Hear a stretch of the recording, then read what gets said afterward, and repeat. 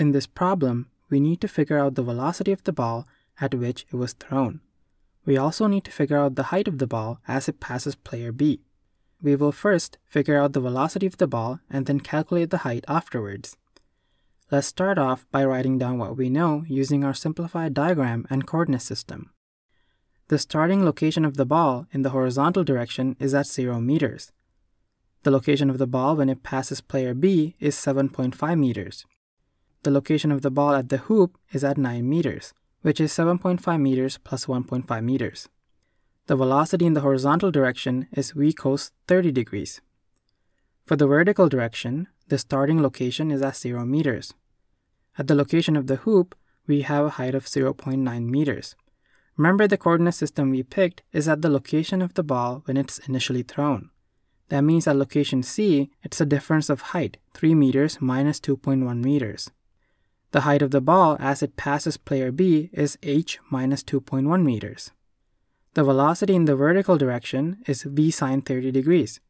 Don't forget gravity, which is negative 9.81 meters per second squared. Let's write our first equation for the horizontal motion.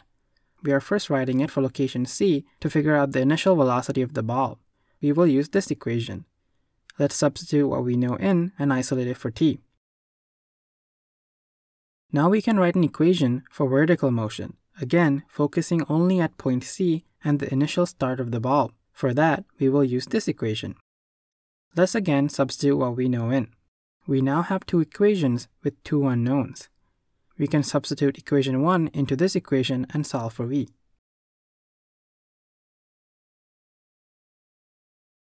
We now have the initial velocity. Now we need to figure out the height of the ball at location B.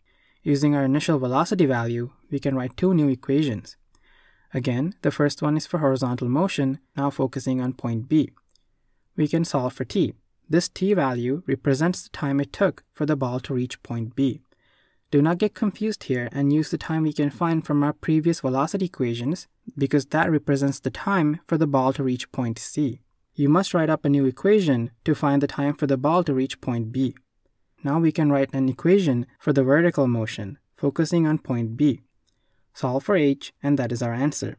Thanks so much for watching. If there are ways to improve these videos, please comment below.